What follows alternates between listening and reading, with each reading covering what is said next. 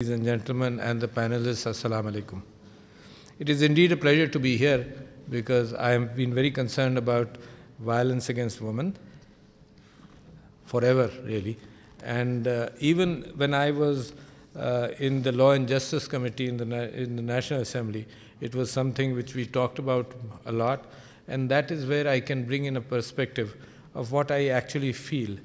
It's been, it, it, Mr uh, Barrister Farogh Naseem has given a very clear uh, picture of the laws which have been passed in Pakistan. In the Law and Justice Committee, uh, people came up with severe punishments. That instead of 10 years, some punishment should be taken to 14 years. Instead of 14 years, for example, somebody should be hanged for this crime or punished with death for the other crime. I believe that the legislation in Pakistan is almost enough.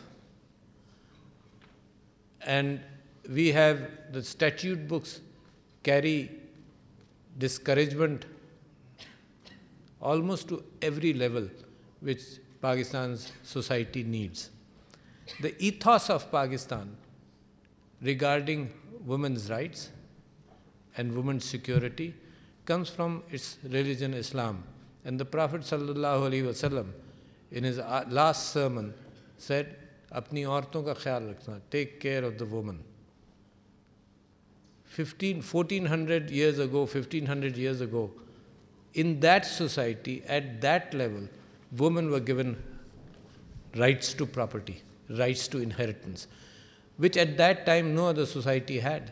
In fact, in the developed world, in Europe, women's property rights were not there until the late 19th century, in most cases in the early 20th century. So, from coming from that background, from that ethos, society should have progressed. Pakistan should have progressed further. Bar- Barrister Farogh Naseem has been very careful in not uh, giving the ranking of Women, Peace and Security Index. It's very bad, and I must share it because what I'm concerned with, Uh, uh, ladies and gentlemen, is not the fact that how does the developed world see us, or that we should do this for because the European Union says that, or the sustainable de- the development goals Im- impress upon us what to do. We should be doing this for, for our own society. It is us, it is our own priority. It is not how anybody else looks at me.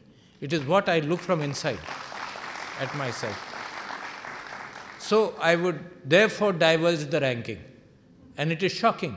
It is 164 out of 168 in 2019. Pakistan ranks at 164. And that should be very shameful. That should be shocking for us. And it should be spread. Now, why is that happening? Despite ample laws, despite, and I'm very impressed by what was being presented, in fact, honor killings and all. All this is the tip of, not, you can't say tip of the iceberg, is the tip of the volcano. It's just the tip. It just shows you the severity of a situation. Just at the end, for one, for example, for one honor, honor killing, there may be 100,000 cases of harassment. So we need to discourage that, of course, that's the penal crime, that's a very big crime. But at the same time, we must be talking about violence against women in, in the society itself. And some, uh, some discussion did take place on what needs to be done.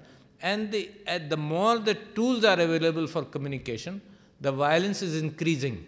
It's just like when dynamite was discovered, it was it, for peaceful purposes, at the same time, it had very uh, damaging situations. When uh, nuclear fission was discovered, for example, it was discovered and it was used in both, both, both ways for, for destroying peace and for energy. The similar thing is happening as far as tools are concerned. The internet magnifies the ability and the possibility of communication. Like uh, my friend Mr. Shah Mahmood Qureshi uh, mentioned the fact of child pornography. So, therefore, we must be thinking in terms of society. The law comes later, the stick of the law comes later. After the stick of the law, as the parliament has done tremendous work in Pakistan, the constitution is there, the laws are there, and thank you, Farogh Naseem Saab, for empowerment of women for, as far as property is concerned. Some new laws are there today where a complaint of any kind of property uh, deprivation by a woman can come to the woman, um, woman's ombudsman. But let me give you an idea of where the difficulties lie. The difficulty lies in the fact that when I became the president of Pakistan, uh, I was burdened by this position. Uh, I found out that uh, the Wafaqi Muhtasib gets maybe 200,000 complaints uh, every year or 120,000 and they are able to solve these complaints and redress those complaints almost within six months, all of them. And it, when it comes to me, I don't take more than a day unless I have to do a personal hearing of that case, and I've decided hundreds of cases. On the other hand, the complaints of harassment, you will be surprised there are less than 100 in Pakistan which come to the Wafaqi Muhtasib, woman Muhtasib. That means people don't know, that means people are afraid. That means, can you imagine in Pakistan where more honor killings have taken place, the complaints of harassment are less than a hundred at the forum where they have to be addressed? When you, when you bring a day which is important, International Day for the Elimination of Violence Against Women, my wife, for example, when she picked up breast cancer as an issue last year, she said it's not a matter of a day. So I kept on telling her the day is there to highlight an issue. And the rest 364 days in a year, once the day has highlighted it, we will work upon it. But she considered that's not enough. At least you should go out for a month, create a momentum of 30 days at least, which lasts the next 300 days. So I believe similarly, it, it, the day focuses, but well, it should start the engines rolling in every forum which needs to address, in the tel television and film media, there is an issue uh, somewhere the uh, distraction of society is taking place. There is a very good few hours in the evening where the government and the opposition, Shah are throwing the kitchen sink at each other every day. And it leads to good ratings of television companies, etc. And I instituted an award for, uh, through PEMRA uh, for television media companies which are discussing social issues. And I asked PEMRA to quantify the minutes or the hours, including talk shows, the minutes and the hours where a television, a media company uh, focused on social issues. And we have given after a, after a quarter of a year or six months of the year, we did give some awards to three companies which we found, television media houses which we found were, are, act, are doing more work so with socially responsible ideas. So we need to start discussing this, implementing this, uh, uh, a very important issue. But how? Comes back to the situation how. Like I said, the laws are there. Keep on working on the laws, but I think they're very good right now. Beyond that, the woman is not bold enough to complain. And we don't want to encourage that all marriage disputes are brought into the violence situation. We don't want to encourage that. But we do want to encourage or discourage violence when it is happening and encourage the woman to get some help now, when you come to help, you do not have to go to the police station directly.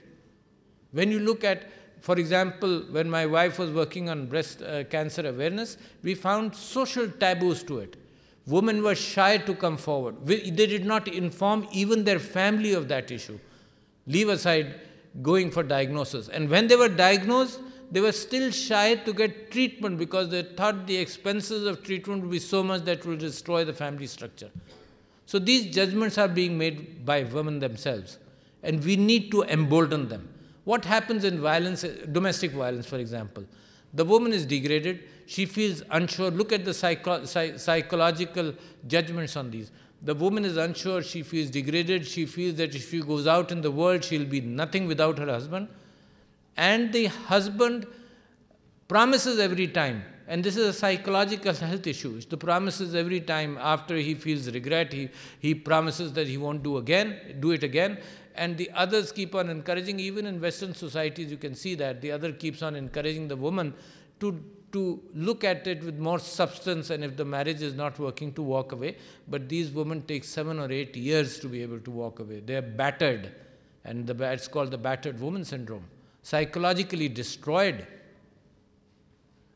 We in Pakistan somehow should have an area where the woman can reach out. For example, there was a uh, the Aman Foundation had set up a woman's uh, set up a health line called call center. Uh, it found that it was not the men who approached the health call center. It was mostly the women who, who approached the call center because she was not able to go out because she may have been neglected with the husband very busy with earning bread. So this is a woman who called the health centers. Somehow or the other, with only about less than 100 complaints coming in, I think the failure is to communicate with women, to increase their presence in public spaces. When I feel very depressed by the fact that when women come out for political purposes, there's a segment of society which again degrades them for in a dharna or in a protest. There are, there are people who start degrading them. But I'm also glad at the same time that newspapers write against such, such, such attempts, some, such bad uh, comments which are being made. But then it is made, made a matter of politics. This has nothing to do with politics. We must separate this from politics, what the government is doing. The major burden comes back on civil society, on the reaction of people themselves, on the reaction of us and our families as far as uh, gender-based violence is concerned, to, to make the woman come out. The empowerment of women with property, for example, that is one thing. I, the figures are very poor as far as certain provinces are concerned, where women's, women do not inherit property. They are told that we have given you some property as far as your at, your, at the time of your marriage, but now no more. There, there are intermarriages to, uh, to make sure that the property remains within families and the women do not have right. I have requested the law minister and he's considering that still. The fact that because of this family pressure as, as soon as the father dies or the, the male dies and the woman inherits property, she is forced to gift it. It's very common. It's almost, in some places, it's almost 90% uh, women are forced to gift them. And I have asked him, and he's still probing that issue, he's probing that issue that for one or two years, we, we should legally stop the inherit the, the gifting of properties unless she goes to a court of law and makes a submission that she needs to do it or she is being compensated. She can sell the property, but she should not be able to gift. And I've talked to the Shariat judges in the Supreme Court, I have communicated to them, and they say it is possible, but the ball is in the court of the law minister. Unless she holds on to inherited property, she has no idea the value, about the value of that property. So for one year or two years, that's how you empower them. Without financial empowerment, as you said, without financial empowerment, the role of woman uh, against violence or, or in all other issues uh, is, is, is not enough to make them, to, to allow public spaces to welcome them without violence, without taunting on the streets, without people discouraging women to come into public spaces, that is very important. And I think what has happened over the last six, seven years particularly, or 10 years, that the women have started participating in political movements. As they come out, they will be able to express when issues like these happen. As they come out, and, the, and I found the members of this parliament very responsible women, but I need and I request them to do more because they are the thought leaders. You see, they're not only legislators, they're also thought leaders in, when they go back into society. I've asked the uh, Council of Islamic Ideology to play a bigger role as far as uh, women empowerment is concerned and as, as far as uh, looking at harassment situations. Now, let me, let me uh, impress upon you the fact that there is a lot of depression in society. And, and when a part of the reason of violence is the fact that that depression is not recognized. There are estimates in the Western world, and I'm, uh, there are no major estimates of what is happening in Pakistan, but I would presume generally that they are generally the same maybe more, or maybe the same, or maybe less slightly. But 40% of people in a society today are, are in occasional states of depression. Today, I read a case when a man, uh, for whatever reasons, he, he killed uh, his uh, daughter and uh, severely beat up his wife and severely beat up his son, and then he committed suicide. I don't think this is purely economic, there are purely economic reasons. There's, it's a state of depression which takes him there. And there's no place to recognize them. How many call centers are propagated? I saw a list of numbers when the, when the video was going on. That's the most important message. And, I, and it's a matter of marketing. The, I, the, you, you can focus uh, uh, the issue of, for example, honor killings. That's, the, that's just, again, a very dirty, very bad, but very small area. We should be addressing domestic violence generally. We should be addressing violence in other matters. But then the telephone numbers, were the, which is the most important message, finally, got a very small space.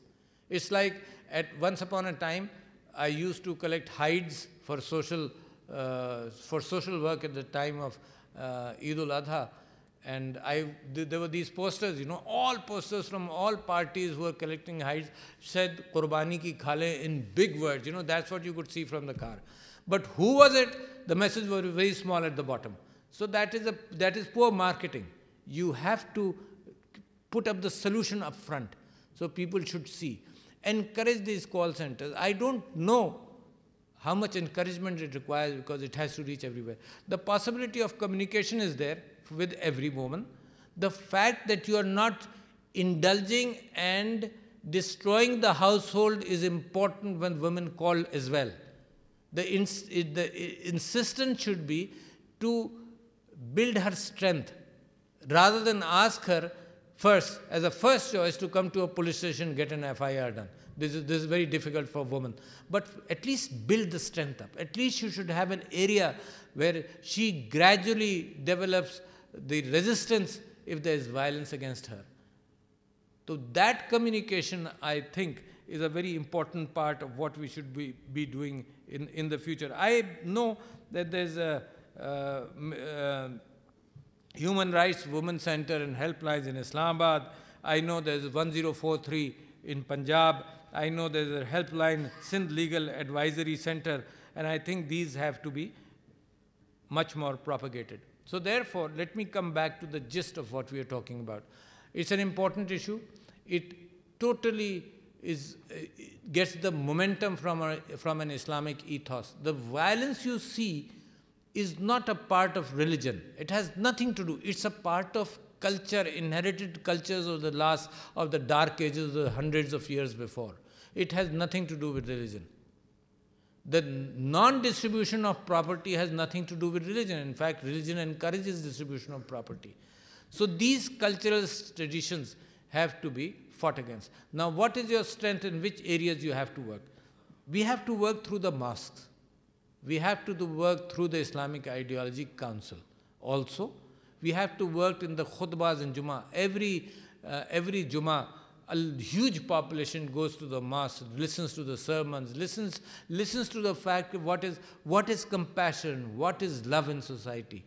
And that is the thing which needs to be encouraged and violence definitely discouraged. So I think that the, the fact that programs on television, not only talk shows,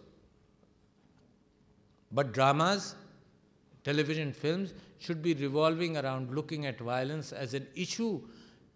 They should not be depicting violence in a manner which is degrading to women also, but they should at least be showing the fact that the end result is a lesson of some sort. And the beautiful television programs and dramas were made uh, about 30, 40 years ago. I don't know where that has gone, but that is one forum which can be encouraged uh, by the main medium. Television watched, uh, the social media can play a very important role, but television and the social media is the wave of the future. And the, the illegal exploiters of these medium are very strong. The government will keep on handling them. The cyber crime security bill can help in that.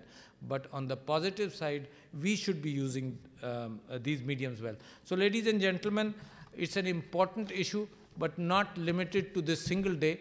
I, I, need, the, uh, I need you all to carry it home, to insist that violence does not happen, the public spaces are secured, and women are strengthened in jobs, in their ability to work in society, and the public spaces should be increased. And I thank you, uh, the Ministry of Law, for holding such a good program here in which we can at least focus in one day and then expand our focus as the year passes along. Thank you, ladies and gentlemen. Alaikum.